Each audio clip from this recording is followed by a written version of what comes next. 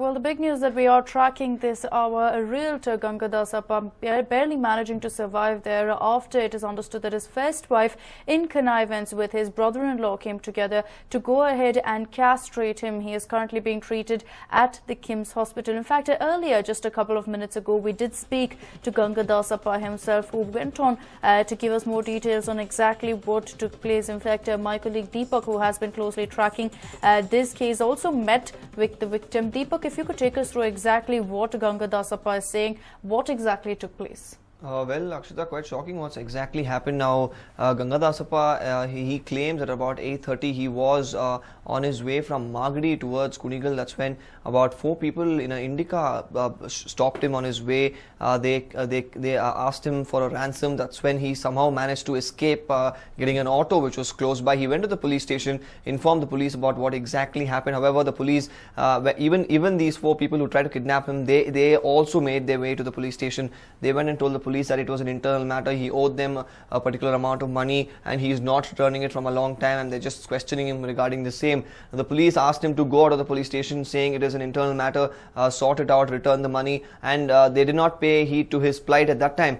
Now, he then claims that these people then took him out of the police station once they uh, went uh, uh, for a, certain distance. That's when they, they got hold of him, put him in the car, took him inside after they reached uh, about another five kilometers from the police station near Sunkat Kate. That's where they uh, forcibly made him uh, drink a bottle of water and also a tablet uh, he claims which uh, was supposed to make him drowsy and uh, probably uh, make him unconscious. But however for for the next 20 minutes he was conscious. He also uh, allegedly heard them saying well, is he is he unconscious? Is he sleeping yet? When he was not that's when they decided to tie him up. They tied his hands up. They tied even his eye so that he could not they covered up his eye and also put a monkey cap on him so that he could not see where they were going he also recalls uh, faint memories of uh, what exactly happened, uh, where he was taken to a hospital which had a steel, stair- uh, a steel staircase. That's what he claims. He then went on top. finally, when he woke up in the morning, he claims that he even uh, saw a person called Kavita, who was a government teacher in the same village that he stayed. Now he believes that somehow Kavita is also involved in this particular case and his first wife and her brother have gone on to do this where they took him to a private hospital and uh, chopped off his genitals and when he woke up in the morning one of the most uh, rude shock awaited him Akshita. Right, uh, Deepak, thank you so much for joining us with all those details. So there you have it, uh, the victim going ahead and narrating his horror tale, taking us through exactly what took place. Uh, it is understood that the police have been briefed of exactly what happened, but uh, no action taken as of yet. They are still conducting investigations, is what we understand. And also, let's listen into what uh, uh, Ganga Dasappa's second wife had to say. Magadi ತವಿಂದ kidnap ಮಾಡ್ಕೊಂಬಂದು ತಿಪ್ಕಣ್ಣಳ್ಳಿ ಇದ್ರ ಹತ್ರ ನಿಲ್ಸ್ಬಿಟ್ಟು ಕಣ್ಣಿಗೆ ಬಟ್ಟೆ ಕಟ್ಟಿ monkey ತೋ monkey ಟೋಪಿ ಹಾಕ್ಬಿಟ್ಟು ಬಲವಂತದಿಂದ ನಿದ್ದೆ ಮಾತ್ರ ನುಂಗಿಸ್ಬಿಟ್ಟು ಅಂಜನಗರದಲ್ಲಿರೋ ಕವಿತಾ ಮೇಡಮ್ ಹೊತ್ಕೊಂಡಿದ್ರಂತ ಅದ್ರೊಳಗಡೆ. ನಮ್ಮ ಫ್ರೇ ಕವಿತಾ ಮೇಡಮ್ ನಮ್ಮ ಟೀಚರು ನಮ್ಮ ಹುಡುಗರು ಟೀಚರ್ ಅಂತ ಹೇಳ್ತಿದ್ದಾರೆ ಅವರು. ಅವ್ರ ಸ್ಕೂಲಲ್ಲಿ ಓದ್ತಿದ್ದ ಫಸ್ಟ್ನೇ ವೈಫ್ ಅವ್ರ ಮಕ್ಕಳು ಅದರಿಂದ ಅವ್ರ ಪರಿಚಯ ಅಂತ ಕವಿತಾ ಮೇಡಮ್ ನಮ್ಮ ಯಜಮಾನ್ರಿಗೆ. ಅವ್ರ ಮನೆಯಲ್ಲಿ ಅವ್ರು ಬಂದು ಇವ್ರ ಕಾರ್ ಹತ್ರ ಹತ್ಕೊಂಡು ಇವ್ರ ಪಕ್ಕದಲ್ಲಿ ಅವಾಗ ಕರ್ಕೊಂಡು ಹೋದ್ರು, ನನ್ಗೆ ಅಷ್ಟೇ ಜ್ಞಾಪನಕ್ಕಿರೋದು ಬಲವಂತದಿಂದ ನಿದ್ದೆ ಮಾತ್ರ ನುಂಗಿಸ್ಬಿಟ್ರು. ಸುಗ್ನಳ್ಳಿ ಹತ್ರ ಕ್ರಾಸ್ ಆದೆ ಅಷ್ಟೇ ನನಗೆ ಗೊತ್ತಿರೋದು, ಅಷ್ಟ್ರ ಮೇಲೆ ನಿದ್ದೆ ಬಂದ್ಬಿಡ್ತು. ಒಟ್ಟನೆ ನಾನು ಹಾಸ್ಪಿಟ್ಲು ಹೋಗ್ಬೇಕಾದ್ರೆ ಹಾಸ್ಪಿಟ್ಲು ಮನೇನೋ ಗೊತ್ತಿಲ್ಲ, ಅಲ್ಲಿ ಮಾಡಿಸ್ದಾಗ ಕಂಬಿ ಮೆಟ್ಲು ಹತ್ಕೊಂಡು ಹೋದೆ ಅಂತ ಮಾತ್ರ ಹೇಳ್ತಿದ್ದಾರೆ ಆ ಹಾಸ್ಪಿಟ್ಲು ಗೊತ್ತಿಲ್ಲ ಅಂತ ಏನು ಗೊತ್ತಿಲ್ಲ ಅಂತ ಅವ್ರ ಡ್ರೆಸ್ ಎಲ್ಲ ಬಿಚ್ಬಿಟ್ಟು ಕೈ ಕಾಲು ಕಟ್ಟಿ ಆಪ್ರೇಷನ್ ಮಾಡ್ಬಿಟ್ಟಿದ್ದಾರೆ. ಬೆಳಗ್ಗೆಗೂ ಅವ್ರಿಗೆ ಆಪ್ರೇಷನ್ ಮಾಡಿದ್ದಾರೆ ಅಂತ ನಂಗೆ ಗೊತ್ತೇ ಆಗಿಲ್ಲ. ನಾ ಪೇಯ್ನ್ ಸ್ಟಾರ್ಟ್ ಆದಾಗ ಐದೂವರೆ, ಆರು ಗಂಟೆಗೆ ಪೇಯ್ನ್ ಸ್ಟಾರ್ಟ್ ಆಯ್ತಲ್ಲ, ಅವಾಗ ಬಡ್ಕೊಳ್ಳೋಕೆ ಶುರು ಆದೆ. ಅವಾಗ ಅವರು ಅವ್ರ ಬಾಮೈದ ಕುಮಾರ್ ಅಂತ ಇದ್ದಾರೆ ಇವ್ರ, ಅವರ ತಾಯಿಯವ್ರ ಅಣ್ಣನ ಮಗ. ಅವನಿಗೆ ಫೋನ್ ಮಾಡಿ ಕರ್ಸಿದ್ರಂತ. ಅವನು ಅದೇ, ಅವರೇ ಕಾರಲ್ಲಿ ಕರ್ಕೊಂಬಂದು ಇಲ್ಲಿ ಕೆಂಪೇಗೌಡ ಹಾಸ್ಪಿಟ್ಲಿಗೆ ಅಡ್ಮಿಟ್ ಮಾಡಿ ಹೋಗಿದ್ದವ್ರು. ಇನ್ನೂ ಬಂದಿಲ್ಲ ಅವರು. ಆಮೇಲೆ ತಿರ್ಗಾ ಅವರು ಕೆಂಪೇಗೌಡ ಹಾಸ್ಪಿಟ್ಲಿಗೆ ತರಬೇಕಾದ್ರೆ ನಮ್ಮ ಯಜಮಾನ್ರು ಫೋನ್ ಮಾಡಿದ್ರು. ಇಲ್ಲ ನನ್ನ ಕೈಲಿ ಆಯ್ತಿಲ್ಲ, ಸತ್ತೋಗ್ಬಿಡ್ತೀನಿ, ನಾನು ಬಂದ್ಬಿಡಿ, ಎಲ್ಲರೂ ನಮ್ಮವ್ರು ಯಾರು ಇಲ್ಲ, ಯಾರು ಅಂತ ಇವ್ರು ಗೊತ್ತಾಗ್ತಿಲ್ಲ ನನಗೆ ಅಂತಂದ್ರು. ಆಮೇಲೆ ತಿರ್ಗ ನಾವು ಅಷ್ಟರಲ್ಲಿ ಬರೋ ಅಷ್ಟರಲ್ಲಿ ಇವರೆಲ್ಲ ತಂದು ಹಾಸ್ಪಿಟ್ಲಿಗೆ ಹಾಕಿದ್ರು. ಆಮೇಲೆ ತಿರ್ಗ ಇಲ್ಲಿಗೆ ಬಂದು ನೋಡಿದ್ರೆ ಆಗಲ್ಲ ನಮಗೆ, ತುಂಬಾ ಕ್ರಿಟಿಕಲ್ ಇದೆ, ಏನಾಗುತ್ತೆ ಅಂತ ಗೊತ್ತಿಲ್ಲ. ನಾವೇನು ಹೇಳಕ್ಕಾಗಲ್ಲ ಅಂತ ಡಾಕ್ಟರ್ ಹೇಳಿದ್ರು. ಮತ್ತೆ ಈಗ ಒಂದು ಸ್ವಲ್ಪ ಜಾಸ್ತಿ ಕಿವ ಆಗ್ಬಿಟ್ಟಿದೆ ಸರ್ ಅದೇನಾಗುತ್ತೆ ಅಂತ ಮುಂದೆ ಗೊತ್ತಿಲ್ಲ. ಎರಡೊಂದು ಏನು ಹೇಳಕ್ಕಾಗ್ತಿಲ್ಲ ಅವ್ರಿಗೆ.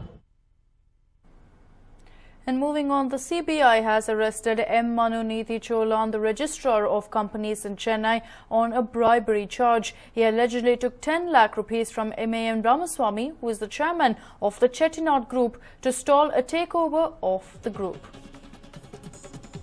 My colleague Arun now joins us over the phone lines with more details. Uh, Arun, yet another case of corruption. It is understood that uh, uh, uh this particular person has also been taken into custody. That's right, uh, Akshita. In fact, uh, we are given to believe that the none other than the CBI was keeping a tab on this particular person called Manu Nidhi Cholan, who is the registrar of companies in Chennai. And uh, the issue on hand was basically a provision, uh, a resolution which was to have been passed in yesterday's annual general meeting of uh, Chettinad Cements. Uh, remember, Chettinad Group, which is owned by M.A.M. Ramaswamy, uh, or uh, who is also nicknamed and called the Raja of Chettinad, is a 4,000 crore uh, business group. So there have been allegations that uh, his adopted son, Ramaswamy's adopted son, M.A.M. M.A.M.R. Muthiah, is the one who is keen to take control of the affairs of the uh, group. And uh, there was some rumor floating in the air suggesting that uh, in yesterday's uh, annual general meeting of the shareholders, this proposal would come up. And uh, the idea was to actually uh, defeat the proposal, and to do so, the ROC or the Registrar of Companies was requested to lend a friendly hand. And for that reason, Actually, M.M. Ramaswamy's side is reported to have paid money, and the Anti-Corruption Bureau uh, people, in fact, uh, uh intercepted the car of Mr. Uh, Manunidhi Cholan when he was traveling after collecting the money, and they have been able to recover close to about uh, close to about 20 lakhs in cash and a hard disk. Uh, and also, as we speak, we are given to believe that uh, the Chettinad house, the official residence of MAM Ramaswamy, has also been uh, searched to figure out if there are any other incriminating documents, uh, Akshita. Right, uh, Arun, uh, also, of course, we do understand that it almost seems like uh, uh, the clan fight among the Ramaswamy has taken a toll on the Chennai registrar as well, with corruption now coming to the fore. That's right, uh, because remember, he's a government servant. Uh, the ROC is a government servant. He was uh, being uh, tracked very closely, and uh, it is given to believe that the RO, um, the CBI, beg pardon, was actually Uh, keeping tabs on his phone calls and was able to figure out that uh, there was something amiss. And when they probed it further, the role of the ROC came to light, Akshita. Right, uh, Arun, thank you so much for joining us with uh, all those details. A big arrest there, the CBI going ahead and arresting uh, Manuniti Cholan after he uh, reportedly accepted a bribe of 10 lakh rupees from MAM Ramaswamy. Remember, uh, Ramaswamy has also been made an accused uh, in the FIR as the bribe giver, but he has not been taken into custody, is what we understand. And moving on, a group of students have taken selfies to dizzying heights, quite literally. Now, we had better give you a warning. Your head might start spinning after taking a look at this video. It's slightly unsettling, but then again, this team seems a little bananas to begin with.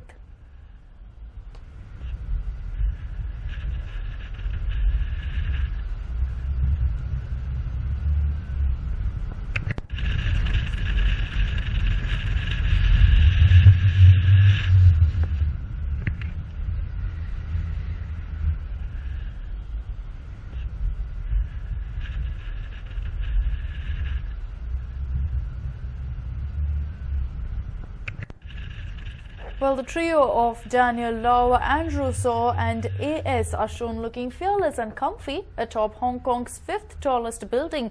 It is 1,135 feet tall. These photo enthusiasts used a wide-angle lens and a selfie stick. And yes, that's what it's called. To celebrate the breathtaking view, they consumed some bananas and this just might, might be the beginning of a, a new, possibly ill-advised selfie trend. Well, we just hope that they didn't slip on those banana peels on the way down.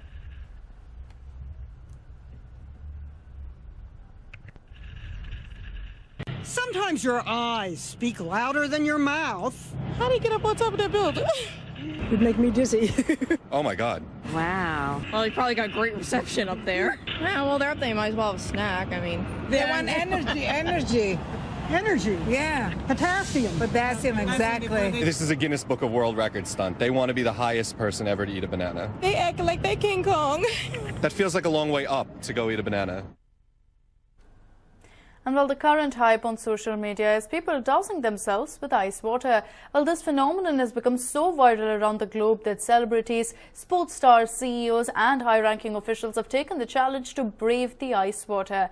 Now, we have brought this viral trend to Bengaluru. Take a look at how RJ Bijosh took up the dare. What's up? Namaskaram, Bengaluru. This is RJ Pujosh from 94.3 Radio 1. I have been nominated to take up the ALS Ice Bucket Challenge by RJ Pavitra. So, very, very willingly and gracefully, I did accept the challenge. Ah, it's a very noble cause. People around the world are doing it. So, I thought, let me pitch in. I'm going to dump the water and also donate. You should do your share too. ALS.org. That's the website you need to log on to. So, without further ado, I can feel it. I can feel it. hmm Are you ready? I'm going to tell you who the three people are after I throw the bucket of water on me. All right? Ready? Here we go.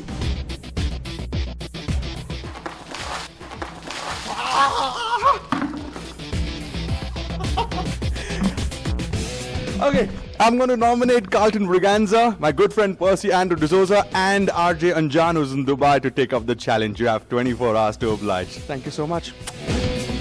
If you have taken up the Ice Bucket Challenge, send us your video with your name and area and rest assured that we will play it on our channel.